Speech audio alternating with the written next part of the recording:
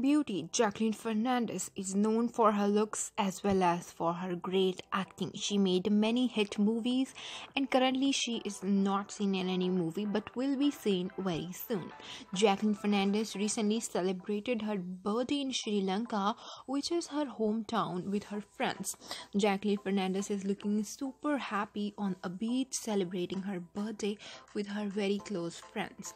Well, Jacqueline Fernandez also shared some amazing views, pictures, and videos from her birthday celebration. Check out.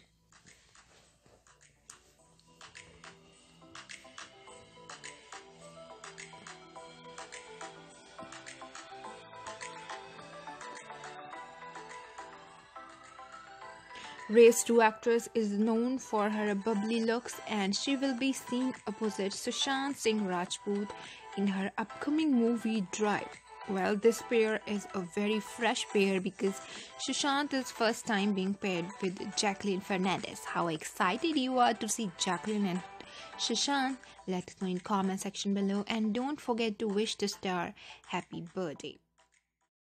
Thanks for watching this video. Don't forget to like, comment and share.